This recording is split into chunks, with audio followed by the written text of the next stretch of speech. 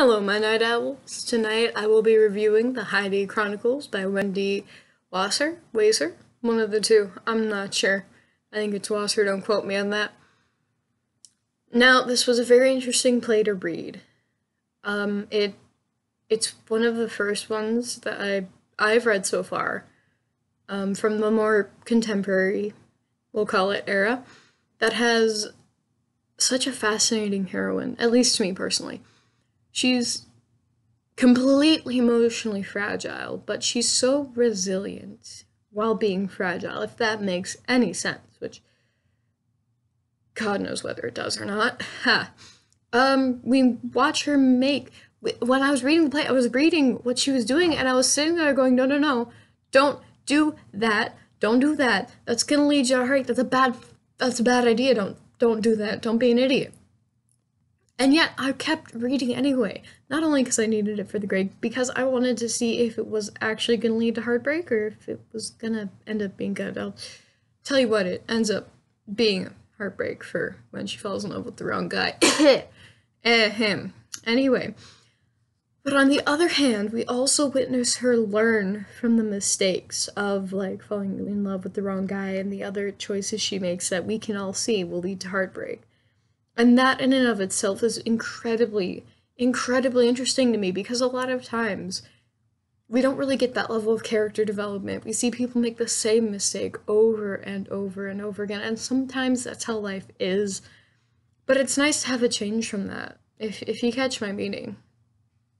But uh, by the end of it, she proves that she's, you know, successful, what have you, in, you know, career and family life and all that. Sorry. Um, one thing about this though, like looking at it from less of a theater standpoint, more of an English standpoint, is that it defines feminists of the 1970s as hardworking activists who forego gender expectations and they uh, they want to improve women's status in society, which I think has been the whole thing the whole time. Correct me if I'm wrong. Um, however, the ones, the younger ones portrayed uh, as being in their 20s during the 1980s are seen as more.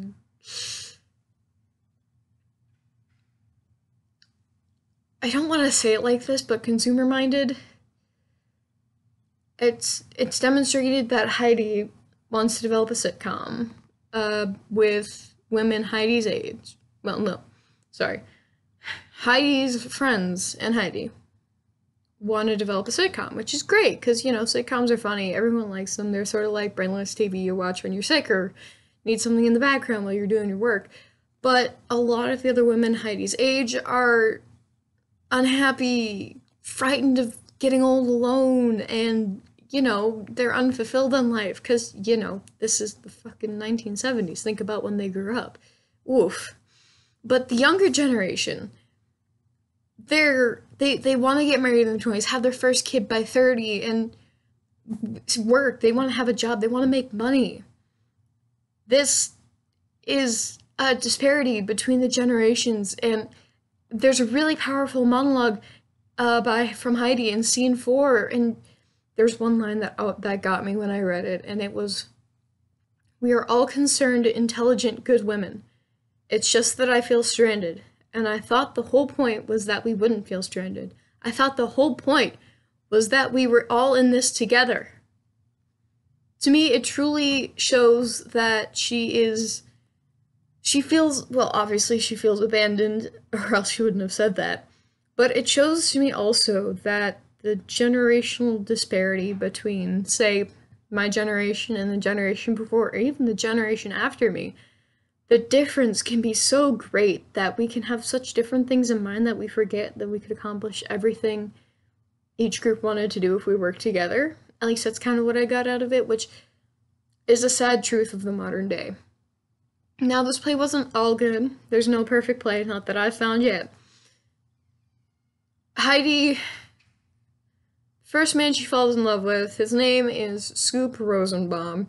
He is a complete and total jackass. There's no other way for me to put it any nicer than that.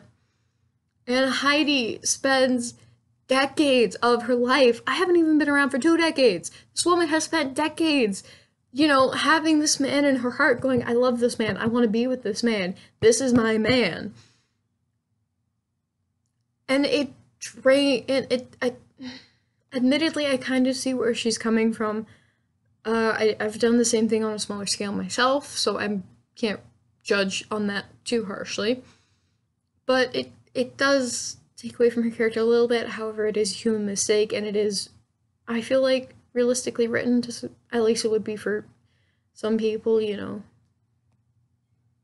But uh, thankfully, one of her friends uh, snaps her out of it when it was Peter. Peter snaps her out of it when he asks her to contrast her misery with the more devastating issues going on around them. Peter, Peter's lost friends to AIDS, and uh, this gives Heidi a very much needed wake up call, and that was a really important part of the play to me because rationalizing your problems is something I struggle with myself, and having someone there to just kind of be like, no, compare this to the other issues that are happening is a very helpful thing in keeping everything, you know, under wraps. But yeah, so th- that's kind of those were some of my thoughts on the play. Overall, I feel like this explores gender a lot more. It explores how it explores how the idea of gender when it comes to women is changing. And this makes it overall seem like it's changing for the better because Heidi is a very a very complex character. She's been very well developed. And I have a lot of thoughts on this. But real quick, I'll give you a rundown of the plot. Just to make sure that we've covered all the bases. And then we will say goodnight. So, it starts in 1989 with a lecture presented by Heidi Holland. She's a lonely art historian she focuses on developing stronger awareness of female painters, getting their work put in exhibits and otherwise male centric museums, you know, that sort of thing. Essentially, making space, which is an important part of any sort of like revolution or what have you. We jump backwards in the past, which is one of my favorite things it plays. I love time travel. Hi. Uh, and but we jump back to a 1965 version of Heidi. So this is um this is earlier. This is a lot earlier in her life. And she's the awkward wallflower at the high school dance. And, you know, we all know that. Hell, I was the awkward wallflower at my high school dances. You can Bet your ass. But then she meets Peter at the high school dance, a larger than life young man who eventually does become her best friend, and as we mentioned before, snaps her out of her misery by saying, Look at the fucking problems around you. Are you dying of AIDS? No, congrats, you're not doing too fucking bad. Then we jump ahead about four years to 1968.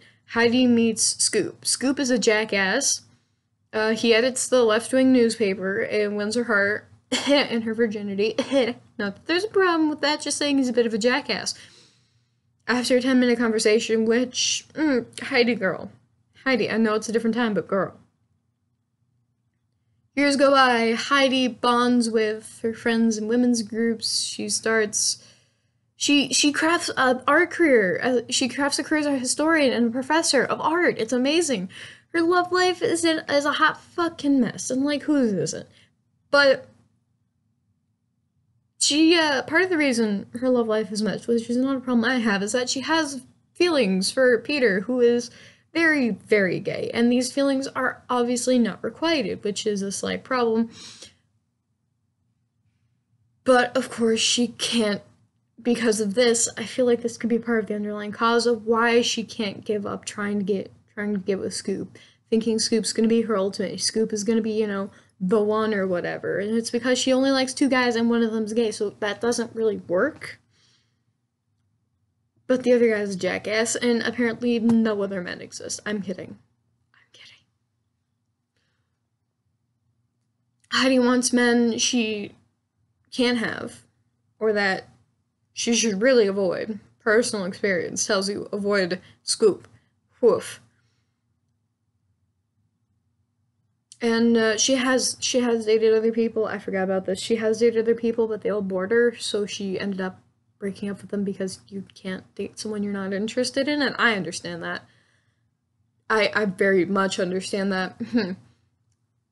she Heidi also wants motherhood, and it becomes more painful after she goes to the baby shower. Mrs. Scoop Rosenbaum. That last name always fucks me up. Uh, yeah, so she has baby fever.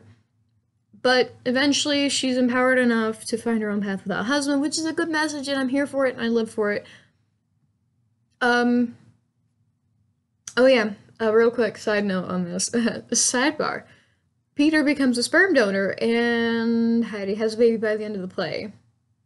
And she doesn't have a husband. So she gets what she wants without marrying the jackass. And that just seems like a win to me. So, would I recommend this play? I say yes. Yes, I would recommend this play. It was a good read, and I will most likely be reading it again at some point when I have, you know, time. So that is all for tonight, my night owls. I'm sorry this episode ran a little bit long, but I had a lot of thoughts on this. So now I need you all to sleep tight.